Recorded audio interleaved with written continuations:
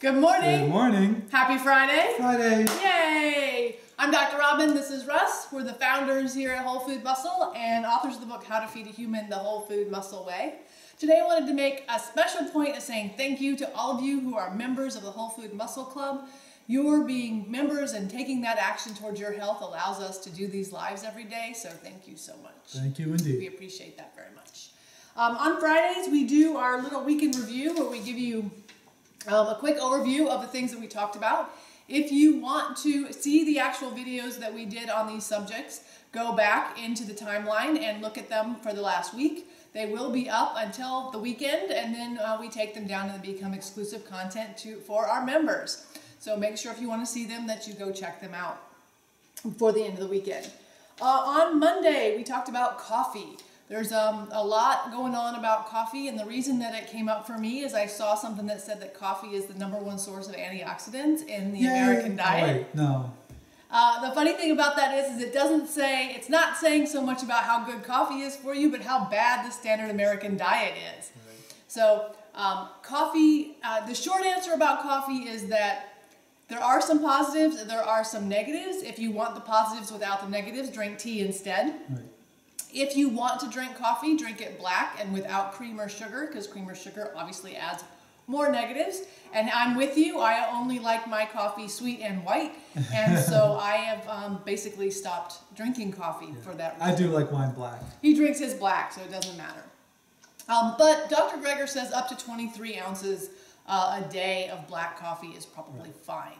Um, obviously, it is addictive. It has a lot of um, you know properties to it that aren't great for you. One thing I did learn that I thought was interesting is that coffee doesn't stimulate; it suppresses your ability to relax, and that's something I talked about um, in some detail uh, on Monday when we talked about it. Um, on Tuesday, we talked about fasting for weight loss. And because Dr. Greger just recently came out with some things about fasting, because he has his new book coming out, How Not to Diet. Yeah. And he talks about fasting like long term fast, like two weeks and 30 days and whatever. And interestingly, and, and um, I've read like two blogs and three and three videos I saw about that. Good morning, Wendy.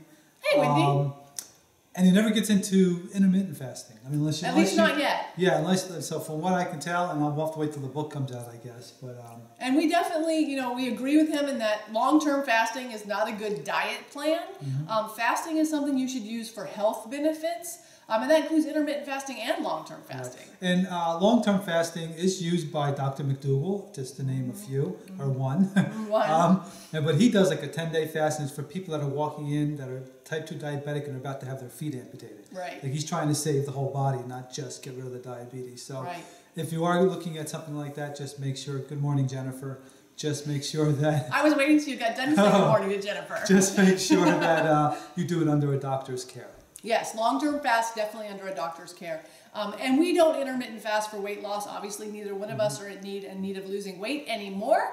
Uh, we were when we started first on this journey, um, but uh, we aren't now. We fast now for our health. Right. So And we do do intermittent. we do fasting. intermittent fasting, um, about 18 to 24 hours twice a week, and then we usually get about 14 hours overnight every Yeah, on a regular basis. every night because just the way our schedule works out. So that was on Tuesday. If you want more details about fasting, uh, check out the the um, what is it we do video. I can talk We do those things. the video that we did on Tuesday. On Wednesday, we talked about avoiding muscle loss, and this is avoiding muscle loss um, on a couple of different levels. We talked about it as you age, um, and if you're bodybuilding and trying to lose weight for a show, turn the water off because it's going to make noise here shortly. Um, and if you're just generally losing weight, you're going to want to avoid losing uh, muscle weight. Now, if you are losing weight, you're going to lose muscle uh, mass. That's just part of it. The question is to av- avoid as much as much as possible, limit it as much as possible. All right, and to keep in mind, if you are overweight, especially if you're extremely overweight, you have more muscle mass than you would need as you lose weight down because You're all that extra that muscle mass is to, is to support the extra weight that you're carrying. So obviously, it makes sense that if you're losing weight, you don't need as much muscle. Yep, absolutely. So um, that's definitely something. Uh, if you're interested in, in muscle muscle weight and muscle, just kind of what muscle does, you want to watch that because there are definitely things we talked about calcium and we talked about animal protein and how they cause your uh, muscles to to go away if you're not careful. Um, and then yesterday we actually did a pretty live, a pretty long live. It was a pretty live too. I can't talk today, you guys. We did a pretty long live. Hey, Deborah. Good, Good morning, Deborah. talking about the blood work that I got done uh, this this year. I went in on Halloween, which is a funny day to go to the doctor's office because they were all dressed in costumes, um, and did my you know regular yearly check in. And I talked about my my thyroid condition and my blood work and my cholesterol and my protein levels, and I gave you a whole bunch of details um, about my blood work and, and kind of where my blood work is. And um, And it's interesting, so you should really go back and watch that one. Yeah. Um, and get that. And good morning, Vicky.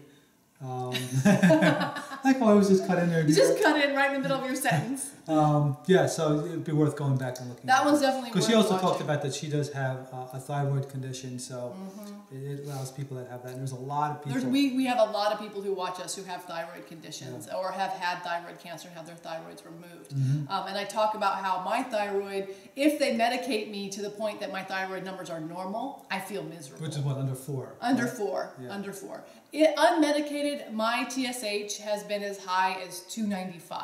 Right. So uh, I've gotten calls from doctors panicking about, oh my God, you should be in a coma, and how come you don't weigh 400 pounds, and you should be dead. She and- says, "Because I'm a zombie, and it doesn't affect me. I'm like, no, it's not. Relax. And so um, I talked pretty extensively about that uh, yesterday.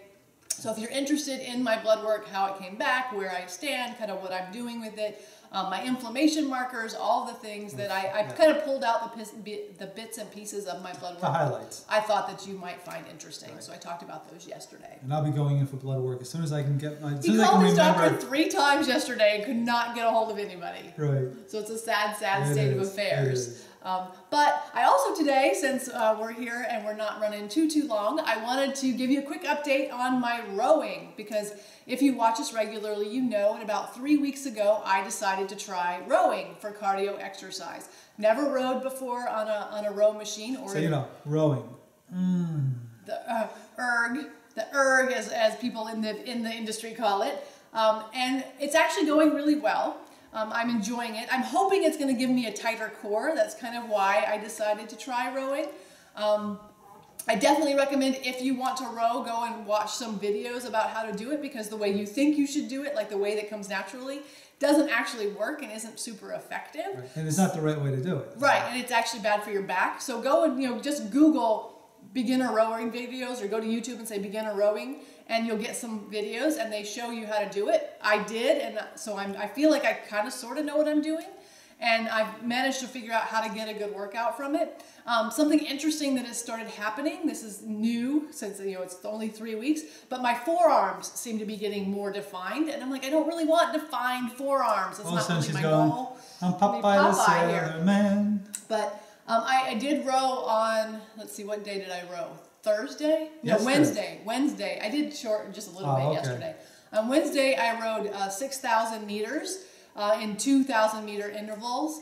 And I ch- looked, I, I didn't think about it when I was doing it, but that's three and three quarters of a mile. Miles. Three miles, three quarters. Yeah, anyway, just shy of four miles which is pretty impressive. I was pretty impressed with myself that I was able to row that far. So I definitely recommend if you're you know interested in looking for a cardio, a cardio uh, workout that's different, try the rowing machine. Just watch a couple of uh, videos before you get started so that you kind of have a clue as to how to do it because you have to the way you have to think about what you're trying to do, which is you know pull the oars through the water and pick them out of the water, and you so you kind of have to go in this clockwise manner, and it seems like people tend to want to go counterclockwise when they do it. So you have to kind of make yourself do it the right way. But Right. I'm really enjoying rowing. Um, I've you know doing it. I've done a little bit of it pretty much every day. You gonna drink my water? He's drinking my water. That or cough. Those are my two options. Can't have that. Can't have that. So uh, we are headed up to Russ's mom's today. I made uh, easy Italian last night to bring with us. So we have a lot of food in the The house. recipe is on our website. The recipe is available to members on the website. It's also in the book, so if you have the book, it's in there as well. Um, I don't know what I'm going to cook for you this weekend yet. I haven't figured it out, but I will at some point, either on Saturday or Sunday, pop on here live and I will cook, make something for you. By the way, when she says pop on here live, it's in the Whole Food Muscle Oh, group. in the Whole Food Muscle group. Right, so it won't Yes. be on the R&R Journey Not on page. the R&R Journey page. If you're not a member of the Whole Food Muscle group, go and join that. Um, it's uh, facebook.com slash groups slash whole food muscle, or you can just search whole food muscle. And last week's cooking show is still up there. For now, For now, it'll now. come down this weekend. the So, yeah. barley, broccoli, and beans is a recipe I made for you last week. That video is still there. Mm-hmm. So um, go check that out, and I will be back at some point this weekend, and I'll make something. I don't know what it'll be, but I will. I promise I'll make you something. There you go then. Anything else you want to say to them? I think that's it. All right, we need to eat breakfast so we can get on the road. That's right. So with that, we'll say eat real food, mostly, Mostly plants. Have a great day, guys. Have a good one. We'll see you. Um, I'll see you over the weekend. Russ will see you on Monday. Monday.